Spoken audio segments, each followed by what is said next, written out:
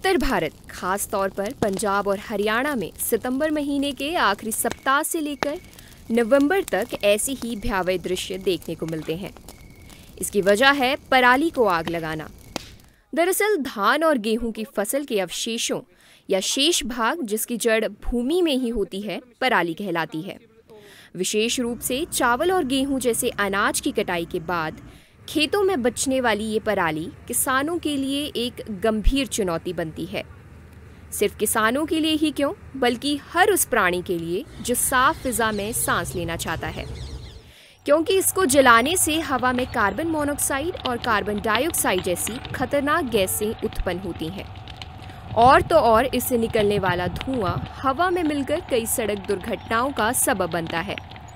आधिकारिक आंकड़ों की माने तो धान की कटाई के दिनों में ए यानी एयर क्वालिटी इंडेक्स सबके लिए चिंता का विषय बनता है। पराली को आग लगाने के कारण किसानों पर भारतीय दंड संहिता के अंतर्गत केस भी दर्ज होते हैं। पिछले कुछ सालों पिछले कुछ वर्षों में वायु की गुणवत्ता काफ़ी प्रभावित हुई है। वायु में हानिकारक गैसें जैसे कि carbon dioxide carbon monoxide sulphur dioxide और कुछ सस्पेंडेड पर्टिकुलर मैटर जैसे पीएम टेन एवं पीएम 2.5 की मात्रा बढ़ गई है। साल के इस समय जब पराली जलाई जाती है तो ए क्यू आई तीन सौ ऐसी चार सौ तक पहुँच जाता है। बर्निंग करते हैं। जब यह स्टबल बर्निंग होती है उन दिनों में हमारे पास ओपीडी में सांस की बीमारियों की पेशेंट्स की संख्या 30 से 35 प्रतिशत तक बढ़ जाती है जिसमें खांसी जुकाम नेजल एनर्जी स्किन एलर्जी शामिल है इम्यूनिटी कम होने के कारण बच्चों और बुजुर्गों पर इसका प्रभाव ज्यादा पड़ता है या फिर वो लोग जिनकी पहले ही अस्थमा या ब्रोंकाइटिस की हिस्ट्री रही हो वह इन दिनों में सबसे ज्यादा प्रभावित होते हैं ਇਹ ਪ੍ਰੋਬਲਮ ਇਹਨਾਂ ਦਿਨਾਂ 'ਚ ਫਿਰ ਜ਼ਿਆਦਾ ਵੱਧ ਜਾਂਦੀ ਹੈ पर क्या वाकई ही किसान इसके गंभीर परिणामों से अवगत नहीं है? अब सवाल ये उठता है कि अगर इतनी बड़ी समस्या को रोकना किसान के हाथों में है तो फिर किसान इस मुद्दे को संजीदगी से क्यों नहीं लेते? क्या वाकई किसान इसके गंभीर परिणामों से अवगत नहीं? किसान खुद आप पराली को आग लगाते समय किसान को यह भली भांति पता होता है कि खुद किसान और उसके परिवार सहित अन्य लोग भी उस प्रदूषण से प्रभावित होते हैं। परंतु पराली जलाना उनकी मजबूरी है। अगर इस समस्या का उनके पास बेहतर विकल्प हो तो वो इसे छोड़ने के लिए तैयार है। हम तो खुद पराली को जलाना नहीं चाहते पर हमारी पराली का कोई हल नहीं किया जा रहा। पराली प्रबंधन एक ऐसी जटिल समस्या है जिससे पार पाना इतना आसान नहीं है सरकारों और प्रशासन द्वारा पिछले काफ़ी समय से इस पर शिद्दत से काम किया जा रहा है और उनका दावा है कि इसके सकारात्मक परिणाम भी सामने आ रहे हैं। पटियाला ज़िले में हमने काफ़ी पहले अपना प्लानिंग जो थी, शुरू कर दी थी बिकॉज़ हम समझते हैं कि ये एक इतना आसान इशू नहीं है। ये काफ़ी एक कॉम्प्लेक्स इशू है, जिसमें बहुत सारे स्टेक होल्डर्स इन्वॉल्व हैं farmers balers industry association cooperative department agriculture department और हमें ये महसूस हुआ कि जब तक हम सारे स्टेक होल्डर्स को एक प्लेटफॉर्म पे नहीं लेके आते, तब तक जो दिक्कतें एक्चुअली ग्राउंड लेवल पे आती हैं, वो सॉर्ट आउट नहीं होंगी।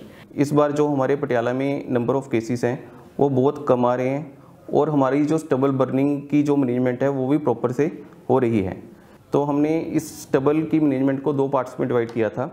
One was ex situ management कि जिसमें हम क्या करते हैं कि जो किसानों की पराली होती है, उसकी बेल्स बना के, बेल्स को हम खेतों से बाहर ले जाके इंडस्ट्री के लिए, की यूसेज के लिए वो चली जाती हैं। और दूसरा पार्ट होता है हमारा स्टेबल मैनेजमेंट का इन टू उसमें क्या होता है कि जो किसान होते हैं, वो with the help of surface seeders happy seeders mulchers ठीक है ना, उससे वो पराली को खेतों में ही गला देते हैं सोइंग के वीट की सोइंग से पहले।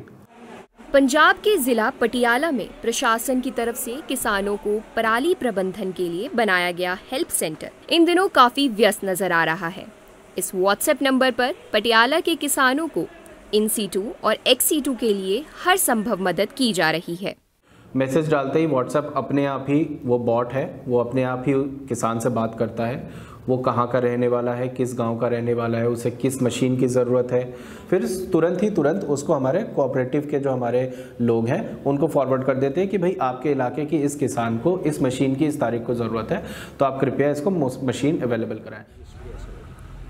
पटियाला के गाँव रीठ खेड़ी में आठ एकड़ में बना ये पराली डंप साइट पटियाला के कुल सत्रह डंपिंग स्थलों में से एक है, जहाँ आसपास से गाँव से बेलर्स द्वारा किसानों के खेतों से इकट्ठी की गई पराली को यहां गांठे बनाकर लाया जा रहा है इसके बाद इकट्ठी की गई इस पराली का इस्तेमाल निजी स्तर पर स्थापित किए गए पावर प्लांट्स ईंट बनाने वाले भट्टों एवं गत्ता बनाने वाले कारखानों में किया जाएगा ਇਸ ਜ਼ਿਲ੍ਹਾ ਪਟਿਆਲਾ ਦੇ ਵਿੱਚ ਇਸ ਵਾਰ काफी क्षेत्र इस बार बेलिंग के अंतर्गत आया है जिसमें एग्जीक्यूटिव के लिए तीन लाख मैट्रिक टन का लक्ष्य रखा गया है। और हमें उम्मीद है कि हम जल्द ही इस लक्ष्य को प्राप्त कर लेंगे।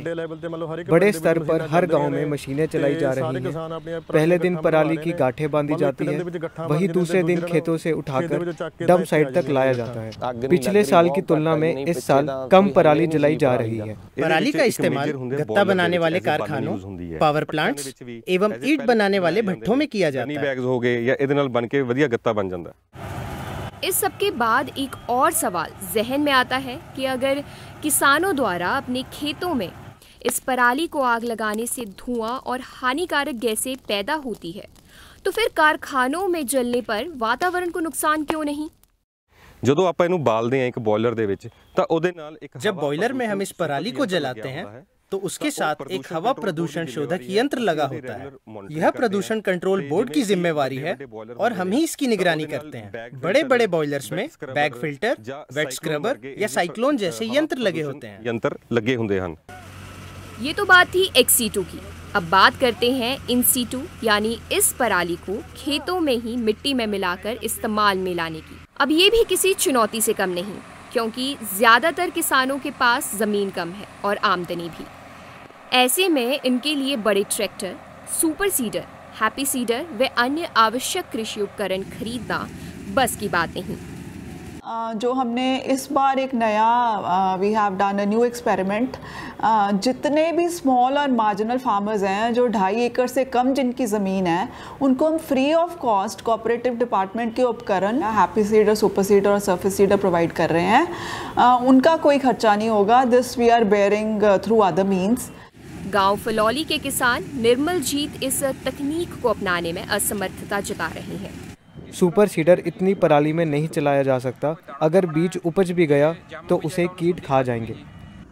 इसी गाँव से लगभग 20 किलोमीटर दूर गाँव बिशनपुर छन्ना के किसान राजमोहन सिंह काले का इस तकनीक का इस्तेमाल करके दूसरों के लिए मिसाल कायम कर रहे हैं।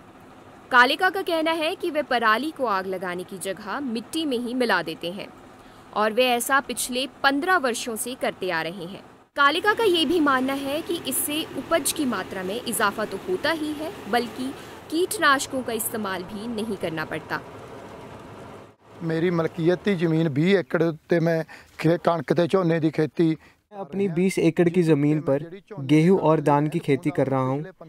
पिछले 15 सालों में मैंने कभी भी पराली को आग नहीं लगाई लंबे समय तक ज़मीन की उपजाऊ शक्ति को बरकरार रखने के लिए फसलों के शेष अवशेष को मिट्टी में मिलाना पड़ेगा जिसके लगभग तीन साल बाद सकारात्मक नतीजे देखने को मिलेंगे ਆ ਤੁਹਾਡੇ ਸਾਹਮਣੇ ਮੈਂ ਕਹਿੰਦਾ ਜੀ ਬਿਨਾ ਅੱਗ ਲਾਏ ਤੋਂ ਜਿਹੜਾ ਨਜ਼ਾਰਾ ਉਹ ਹੋ ਹੀ ਨਹੀਂ ਸਕਦਾ पूरी तरीके से ऑप्टिमिस्टिक है कि नेक्स्ट ईयर ऑनवर्ड्स इसमें और भी बेहतरी आएगी एंड और भी बेटर रिजल्ट्स निकल के आएँगे।